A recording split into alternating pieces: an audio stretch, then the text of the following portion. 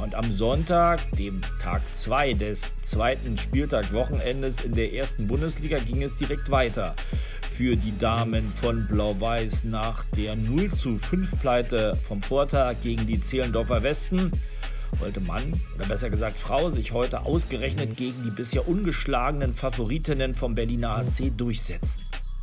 Die Partie stark, immer wieder schöne Offensivaktionen auf beiden Seiten, doch Blau-Weiß war am Drücker. Wir haben das in der ersten Halbzeit wahnsinnig gut gemacht, haben super schöne Angriffe gefahren, haben gute Kombinationen gespielt, sind sogar mit 2 zu 0 in Führung gegangen. Das erste Tor fiel dann in der zehnten Minute nach schönem Kombinationsspiel durch Svenja Liebig, die hier ihr zweites Saisontor verbuchen kann.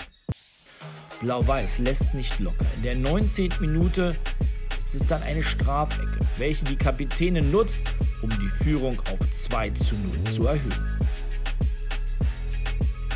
BHC hat dann kurz vor der Halbzeit das 2 zu 1 geschossen. Trotzdem konnten wir mit einer Halbzeitführung in die Pause gehen. Ähm, haben uns dann weiter heiß gemacht, sind gut gestartet. BHC hat dann zur Halbzeit den Torwart rausgenommen, haben sozusagen permanent in Überzahl gespielt.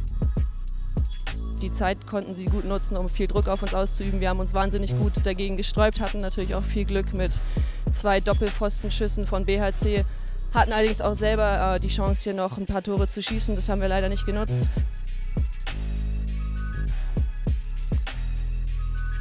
Gäste nun im Überzahlspiel sehr stark, mit vielen Torchancen. In der 51. Minute ist es dann soweit.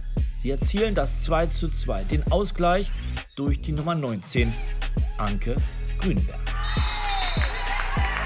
Kurze Zeit später, in der 53. Minute, gibt es dann sogar noch das 2 zu 3, das Siegtor für den BHC.